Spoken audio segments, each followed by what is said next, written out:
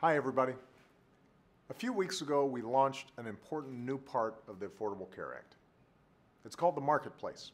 And for Americans without health insurance and Americans who buy insurance on their own because they can't get it at work, it's a very big deal. If you're one of those people, the Affordable Care Act makes you part of a big group plan for the first time. The Marketplace is where you can apply and shop for affordable new health insurance choices. It gathers insurers under one system to compete for your business, and that choice and competition have actually helped bring prices down.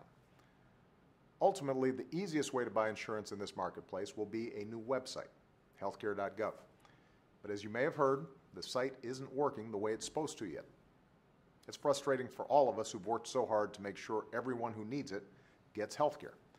And it's especially frustrating for the Americans who've been trying to get covered.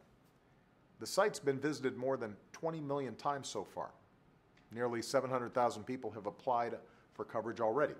And that proves just how much demand there is for these new, quality, affordable healthcare choices. And that's why, in the coming weeks, we are going to get it working as smoothly as it's supposed to.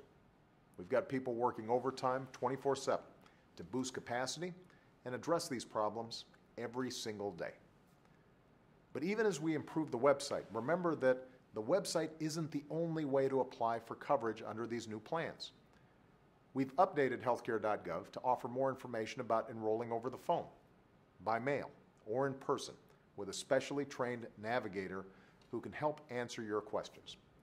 Just call 1 800 318 2596 or visit localhelp.healthcare.gov.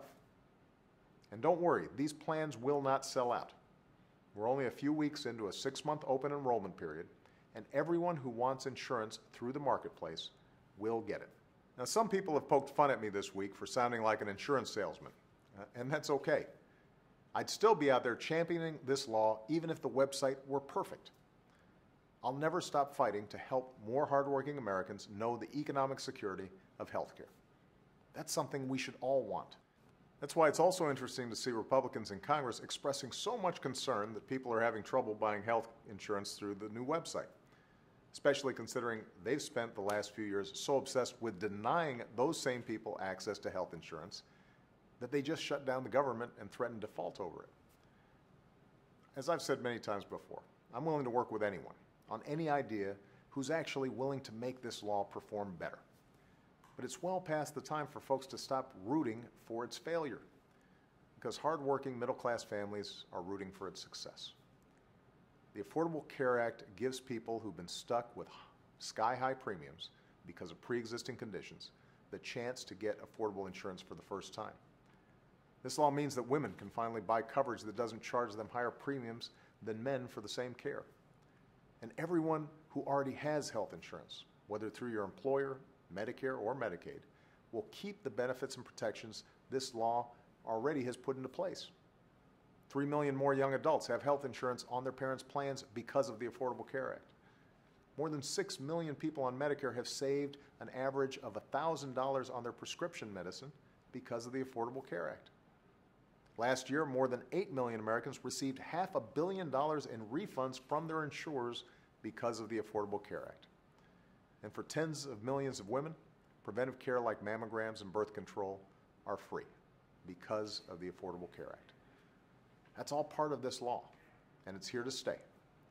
We did not fight so hard for this reform for so many years just to build a website.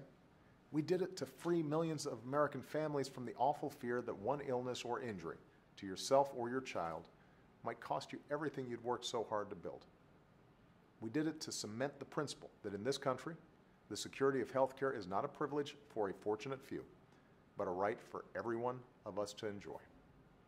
We've already delivered on part of that promise, and we will not rest until the work is done. Thanks, and have a great weekend.